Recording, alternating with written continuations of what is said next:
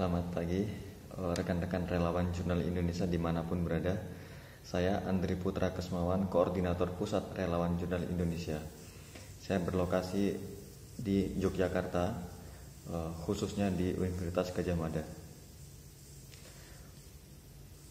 Pada kesempatan kali ini saya akan menjelaskan terkait dengan eh, beberapa hal terkait dengan relawan jurnal Indonesia. Yang pertama adalah RJI ini terbentuk 1 Juni 2016 atas inisiasi dari berbagai rekan-rekan pengelola jurnal yang ada di Jogja, Surabaya, Makassar, Bandung, Sumatera Selatan, Kalimantan Timur, dan dari berbagai negara dan, dan dari berbagai daerah lainnya. Nah, e, maksud dan tujuan RJ adalah sebenarnya semangat kita ingin membantu para pengelola jurnal yang ada di Indonesia. Membantu apa? Membantu persoalan-persoalan terkait tentang pengelolaan jurnal. Bagaimana cara e, mempersiapkan akreditasi jurnal, bagaimana cara untuk e, apa namanya setup open journal system di portal e-jurnal mereka dan bagaimana e, caranya untuk e, apa namanya e, memperbaiki kualitas artikel.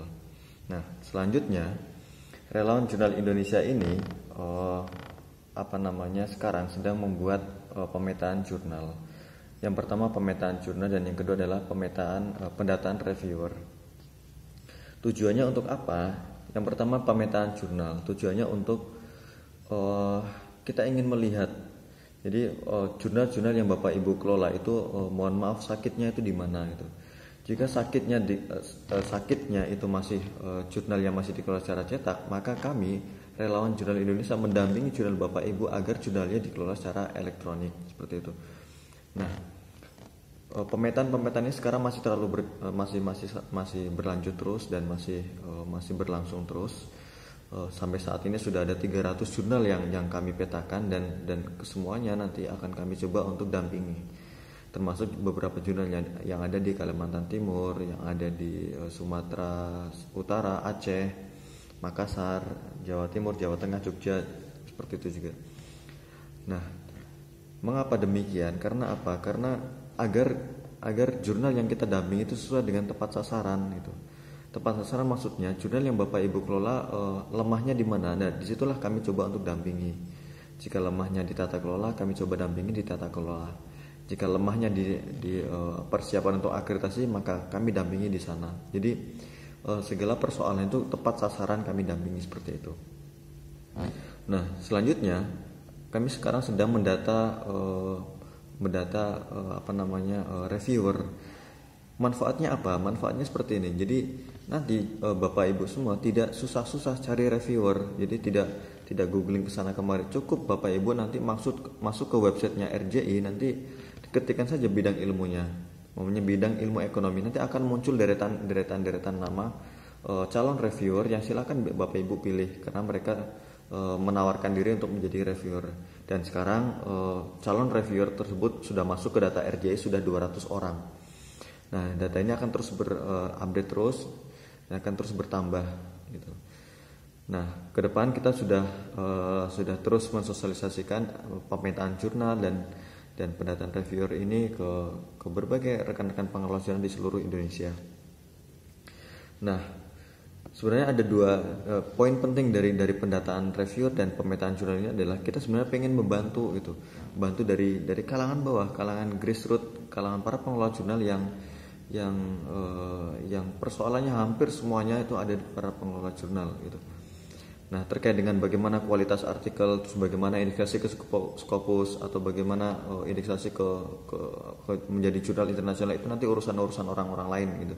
Nah, fokus kita, fokus RJI adalah fokus di tata kelola, fokus di para pengelola jurnalnya. Kalau para pengelola jurnalnya kuat dan semangat untuk mengelola jurnalnya, maka uh, substansi atau dan dan hal yang lainnya nanti akan akan mengikuti gitu, akan mengikuti. Nah, semangat kita sebenarnya di situ. Jadi mohon uh, mohon bantuan Bapak Ibu semua uh, yang ada di seluruh Indonesia uh, support kegiatan-kegiatan RJI yang ada di daerah masing-masing gitu. Karena kita sekarang sudah terbentuk uh, walaupun belum belum seluruhnya. Jadi sekarang sudah terbentuk koordinator daerah di masing-masing daerah gitu.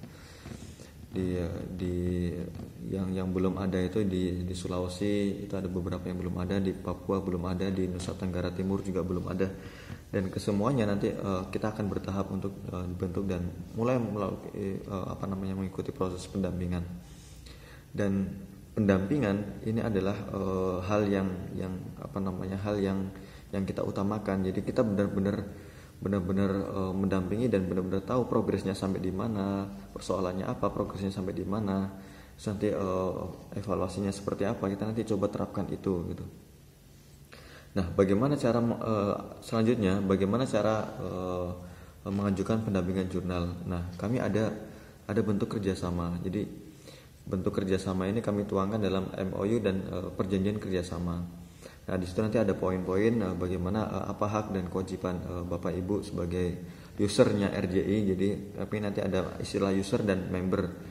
User itu yang yang yang menggunakan atau memanfaatkan jasanya RDI, sementara member adalah rekan-rekan uh, relawan jurnal Indonesia seperti itu.